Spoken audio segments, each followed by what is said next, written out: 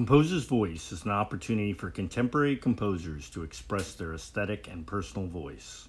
This episode of Composer's Voice features clarinetist and hichiriki player Thomas Piercy performing the works of five contemporary composers. Marty Regan has composed over 70 works for traditional Japanese instruments, and since 2002 has been affiliated with Aura J, one of Japan's premier performance ensembles with contemporary traditional Japanese music. He graduated from Oberlin College in 1995 with a Bachelor of Music in Composition and a Bachelor of Music in English and East Asian Study.